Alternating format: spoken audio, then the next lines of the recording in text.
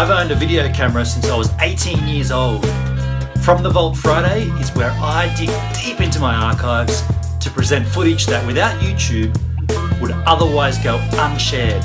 Source material for this footage ranges all the way from Super 8 reel, VHS, 8mm camcorder, Hi 8, Digital 8 and Mini DV camcorder and I've also set myself a rather silly little German rule. No new content is to be used in this. I can only use existing video content, but I can do music overdubs and a voice narration to tell the story. There's nothing like the old underarm farting trick, and Stuart Voysey could do it really well. Alright, money is steep. Alright, it's steep.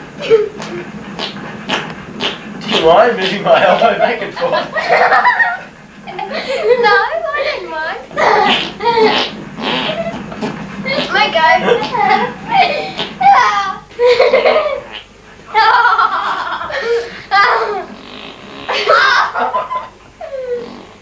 Oh.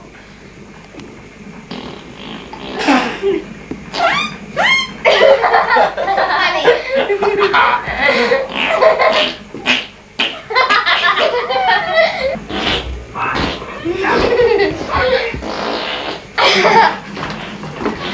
I hope you enjoyed that from the Vault Friday.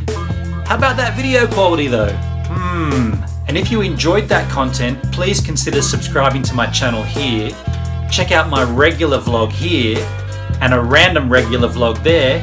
And if you're a photographer, please check out my Lightroom 6 presets here.